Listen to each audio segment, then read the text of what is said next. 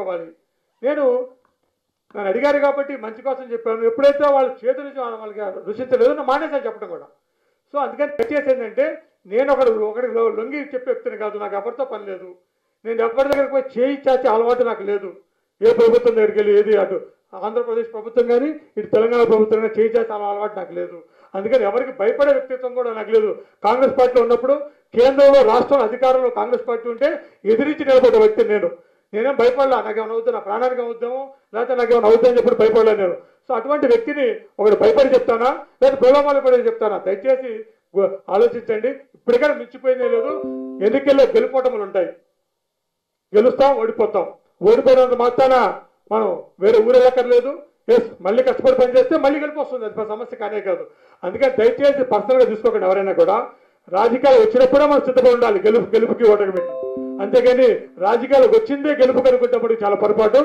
ప్రజలు ఏ ఒక్కడికి ఎల్లకాలం పట్ట పట్ట కట్టరు అన్నది మనకి ఎన్టీ రామారావు గారి టైంలో చూసాం ఇందిరాగాంధీ గారి టైంలో చూసాం. అందుకని దయచేసి ఎవరు కూడా అహంక అహంకారాన్ని కలకండి. అహంభావం కలకండి. ఎందుకంటే నేను ఇంకా ఇంకొక విషయం కూడా చెప్తాను మీకు ఎందుకు చెప్తానంటే మన ఎయిటీన్త్ నవంబర్ నా ఇంటికి ఒక ముప్పై మంది ఎంప్లాయీస్ వచ్చారు నా ఇంటికి. సంపత్ కుమార్ ఆధ్వర్యంలో వాళ్ళు ఎవరో కూడా నాకు తెలియదు ఫస్ట్ టైం చూశాను. అలాగే షౌకత్ అలీ అని ముప్పై మంది ఆడవాళ్ళతో సహా అన్ని జిల్లాలు చూశారు. వాళ్ళు నన్ను వచ్చి ఛాలెంజ్ చేసి వెళ్ళారు నా ఇంటికి వచ్చి ఎలా ఉందంటే మళ్ళీ చెప్తాను అంటే మీరే చూస్తారు సార్ ఈ ఫలితం ఎలా వన్ సైడ్ స్వీప్ అయిపోతే మమ్మల్ని అడగండి సార్ అని చెప్పి నన్ను ఛాలెంజ్ చేసి మీరందరూ కూడా ఆ రోజు ఆయన పక్కన నిలబడ్డారు కంటే ఎవరో లేదు మేము నిలబడ్డాము మా అందరిలో ఎంప్లాయీస్ టీచర్లు జర్నలిస్టులు స్టూడెంట్స్ అందరూ వ్యతిరేకం అయిపోయారు సార్. ఓకల్ సెక్షన్తో వ్యతిరేకం అయిపోయాం మీరేదో దాస్తున్నారు. నేను చెప్పలేదు ఎందుకంటే ఆ రోజు టైట్గా నడుస్తుంది. ఆయన చెప్పలే వాళ్ళకి చెప్పడం బాగుండదని చెప్పలా. చాలా ట్రై చేశారు. నా దగ్గర రెండు గంటలు ఉన్నారు. ఎన్నో ట్రై చేశారు. ఆడవాళ్ళతో చెప్పి అడిగి చూపించారు. నేను- నేను నోరు జారలా మాట జారలేదు. ఎందుకంటే మంచి నా మాట జారితే నా నా పేట సర్క్యులేట్ చేసుకుంటారు. మంచిది కదని.